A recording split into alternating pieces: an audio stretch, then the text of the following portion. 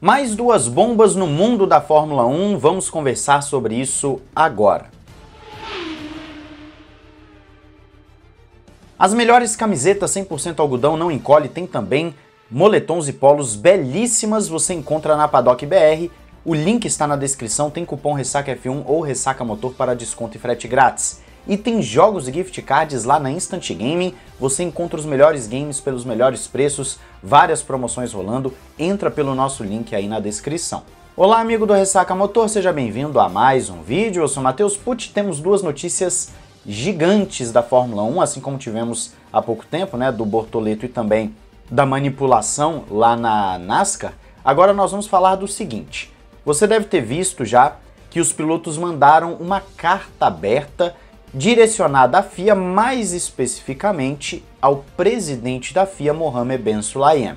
E essa carta mostra a insatisfação dos pilotos em relação a algumas atitudes da FIA, como por exemplo, ficar tratando os pilotos como crianças, punindo-os por utilizarem palavrão, por exemplo, nas entrevistas, né, em momentos fora do carro. Há quem diga que até mesmo dentro do carro o cara não pode mais xingar. E também eles questionam a questão das multas, se essas multas são alocadas em locais que realmente vão fazer a diferença para o esporte. Meio que dando aquela indireta do olha, esse dinheiro está indo para quem? Para o bolso do Mohamed Ben Sulayem? Está indo para quem essas multas que a gente não vê nada nesse sentido em termos de não, as multas estão sendo revertidas em melhorias para o esporte ou então em causas beneficentes, nada disso. Por que, que essa é uma notícia gigantesca, esse confronto dos pilotos em relação à FIA.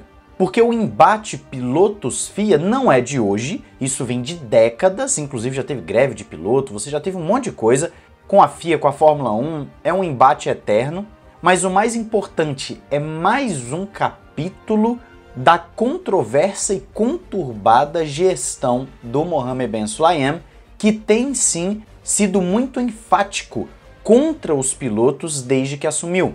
Eu digo para vocês aqui já há algum tempo que a primeira bomba do Mohamed Ben Sulayem não foi culpa dele, que foi a de Abu Dhabi 2021, porque era o Jean Todt ali, o Jean Todt simplesmente falou, olha, vai virar o ano agora, a gente está em dezembro, vai virar o ano agora, não vai ser mais eu, então fica com a bomba aí. E aí o Mohamed Ben Sulayem pegou o primeiro grande pepino da sua gestão. Mas depois disso ele começou a se envolver em muitas polêmicas. Teve a polêmica das joias, por exemplo, com o Lewis Hamilton, que na época eu até falei que faz sentido o que ele está dizendo. Se o carro pega fogo, que nem o do Grosjean ali, o piloto pode ter uma lesão seríssima por causa das joias e tudo mais. Só que ele começou a ser enfático demais com essas questões, chegando ao cúmulo dos palavrões. Que eu já falei para vocês aqui, eu não sou uma pessoa de palavrão, vocês não me veem aqui xingando, falando, né, tal. Mas os pilotos na adrenalina, 300 por hora, o cara ali no carro disputando posição e tudo mais, ele vai soltar um palavrão. Ele vai xingar alguém, ele vai extravasar aquela adrenalina de alguma forma. E a FIA está começando a punir essas coisas. Sem contar o uso de também roupas íntimas, né, cuecas e tal. Ou seja, começou a ir para um lado muito ridículo e a punição está sendo também questionada por ser muito ridícula já que essas punições, e eu concordo com a carta aberta dos pilotos, elas tendem a não passar uma boa imagem para o esporte. Por quê?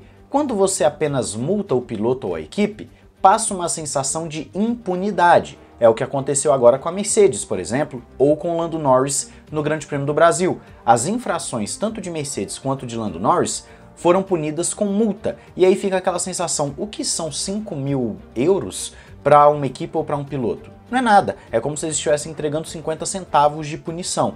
E isso abre uma margem para as outras equipes e pilotos explorarem também essas brechas do regulamento, explorarem essas falhas de punição. E aí, se você muda a punição para outro piloto, fica aquela conversa de que está beneficiando um, prejudicando o outro.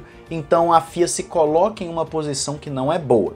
Esse embate tem tudo para ser uma dor de cabeça enorme para o Mohamed Ben Sulayem, pelo simples fato que ele está buscando ficar mais tempo na presidência da FIA, não tem até o momento ninguém que queira assumir esse BO além dele. Só que a gestão dele é muito manchada.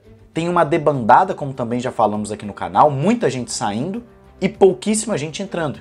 O que mostra que a gestão não é boa. Ele não deve ser um cara muito legal de lidar.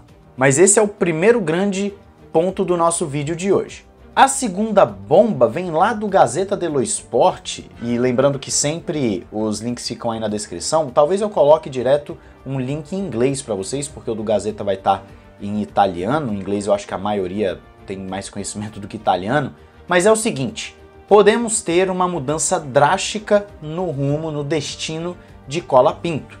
Isso porque o Flávio Briatore, sim, o grande, temido Flávio Briatore, já teria mudado de ideia em relação ao Jack Durham e estaria buscando a todo custo contratar o Colapinto, estaria em negociações com a Williams para tirar o Durham da jogada, que nem estreou, coitado, e colocar o Colapinto no lugar do Durham.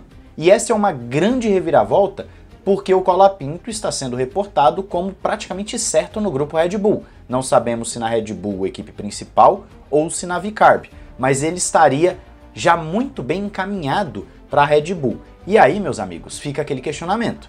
O que está acontecendo nesses bastidores? O Jack Durham vai mesmo ser chutado? Eu não me recordo na história recente, talvez você possa refrescar minha memória, porque minha memória não é muito boa, de um piloto que estava contratado por uma equipe e antes mesmo dele estrear, ele, já ser chutado. O que tem acontecido é, o cara fica ali um semestre e é chutado.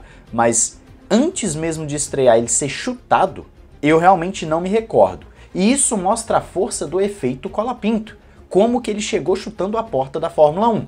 O argentino, repito, já disse em outras ocasiões, chegou sem grande pompa, chegou sem grande expectativa, muita gente inclusive pensando que ele ia tomar um couro do álbum, eu era um desses que pensava isso, e o cara simplesmente tá arrasando. Tem os seus erros, as suas falhas? Claro, todo piloto tem e ele é jovem chegando agora na Fórmula 1, pegou o pepino no meio da temporada, é normal que ele cometa alguns erros como foi a batida no Brasil, por exemplo. Mas ele já tem demonstrado muita velocidade pura. E se você consegue pegar esse potencial e lapidar esse potencial, ele tem tudo para ser um dos principais pilotos que nós temos na Fórmula 1, porque tem apresentado uma performance muito forte e o álbum que eu falo para vocês há muito tempo que é um bom piloto, mas não é esse excepcional piloto como alguns pensam, tá começando a tomar sufoco. Desde que o Colapinto chegou, o álbum tá sofrendo, ele tá errando mais, não tá conseguindo ter mais aquele impacto que a gente estava acostumado a ver do álbum. E o Colapinto tá somando pontos, o Colapinto tá ficando à frente, o Colapinto tá conseguindo bater menos. Tem um probleminha aí da Williams das batidas que nós vamos falar em outra ocasião. Mas basicamente nós estamos vendo o efeito Colapinto na Fórmula 1. E ele ir para a Alpine seria uma reviravolta gigantesca nesses bastidores da Fórmula 1 que não está tendo corrida, mas já pode entregar muito entretenimento até o final de novembro, quando a categoria voltar efetivamente. Então eu quero saber a sua opinião, qual equipe você iria? Você iria para a Alpine, que está com esse projeto do Briatore de voltar ao pódio até 2027? Ou 26, não lembro, acho que é 27?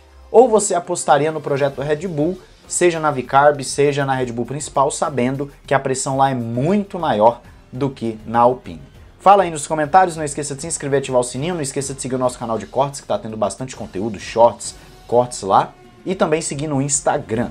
Um grande abraço, valeu e falou!